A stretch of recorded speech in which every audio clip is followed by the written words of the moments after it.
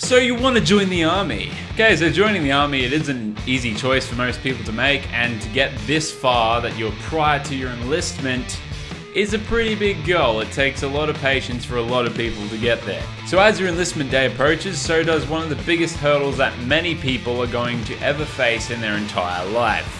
Basic training. So I thought, because one of my friends is soon going to Kapooka, I'd put together a video to help everyone going through basic training and give them some tips for survival that were never shared with me. Now, this is a list compiled from many people's experiences, including other diggers and other people who have gone through Kapooka, of course, because you couldn't make a list about it if they hadn't.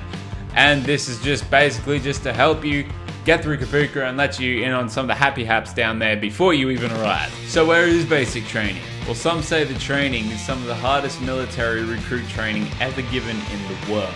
Others say the reason 1RTB is so shiny is because it's polished with the recruit's tears. All we know is, it's called Kapooka. What's the first rule? Don't dig up the base.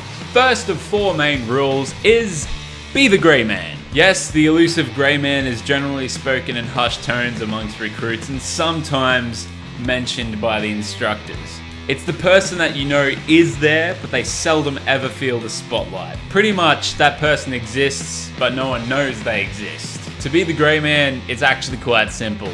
Don't do anything that's going to put you in the spotlight. This includes your actions and your speech at Kapooka, but this also goes back to the preparation that you do before Kapooka. Now, when I say this, I mean if you're going to pack running shoes, do not pack running shoes that stand out, have bright colors or anything because trust me, PTIs will pick on you for that stuff. Something as simple as having funny looking civilian clothes, while they might be nice and expensive, will get you picked on. Basically, do not make yourself stand out like dog's ball. Rule number two, chickadee check yourself before you wreck yourself. Don't get wrecked. Make sure that your uniform, your mate's uniform, even your entire section's uniform and their equipment and everything that needs to be nice and done and proper is squared away and schmicko before you go anywhere. One of the very core values of the army is teamwork, and trust me, you're going to learn the meaning of teamwork very quickly down there. And if you don't function as a team, you can't function full stop. Rule number three make a countdown list. This one will probably be the best morale booster you ever do for yourself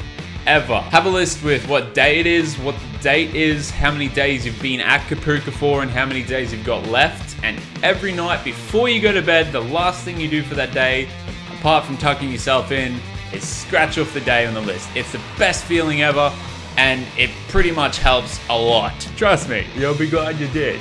Rule number four. The final main rule is to prepare for the worst and hope for the best. It's pretty simple actually. If you're heading out scrub and you look at the sky and it's nice and clear, hope that it's going to stay that way, but also take a rain jacket. Kapooka has a habit that constantly comes up for preying on people who are unprepared. So along with those four main rules, I've also compiled a list of things to note and other tips from other diggers. So we'll go first with the things to note. Kapooka is actually secretly another dimension where time goes much slower than it does in the entire other universe.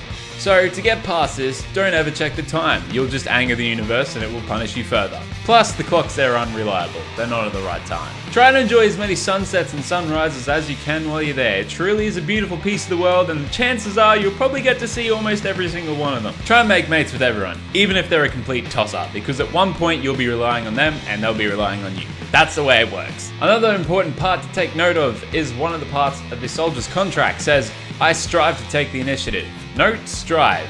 Don't overtake the initiative. Strive. Learn as many songs, pop culture references, and all that other funny jazz before you go down there. Not only will it help you entertain yourself in the boring hours of the early morning, it'll also help you bond with your new mates. When you do get phone time, make sure you call the people most important to you. This may be your girlfriend, your spouse, your mum, your dad, your best friend. Call the people that are gonna make you feel good for calling them. And don't be too serious. Being overly serious at Kapooka is not an advantageous trait to have at all. In fact, it's probably a disadvantage to have.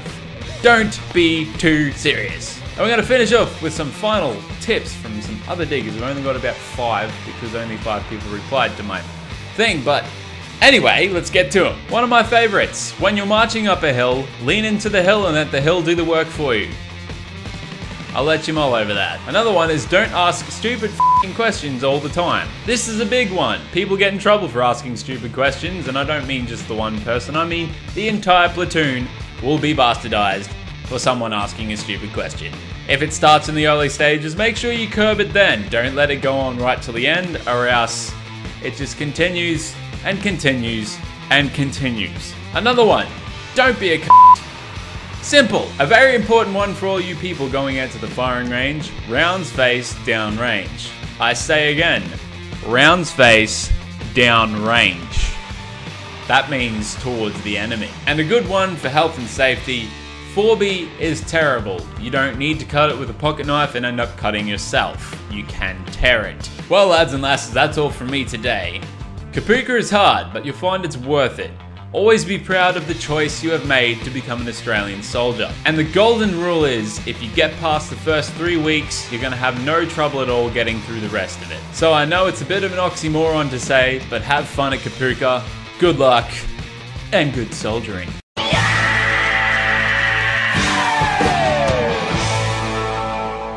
Anyway, lads and lasses, that is all from me today. I hope you have a great day and a great life. Thank you for watching this video. And if you have come back from Kapooka and survived, please comment below and tell us whether these tips helped you or not.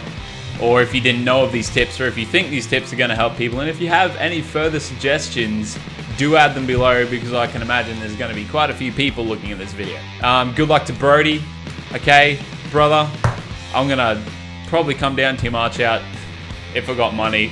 But um, I'll try and make it, and good luck with Kapooka. I know you can get through it. It's something you've always wanted to do for a long time, and you'll absolutely freaking nail it on the head. You will. Don't ever doubt yourself or your ability, ever. So remember, if you have survived Kapooka, comment it below. Tell me and tell the world, tell the world I survived Kapooka, and everyone will be like, damn son, you great. So that's all from me, lads and lasses. Have a great day and a great life, and I'm going to see you in the next video. Bye.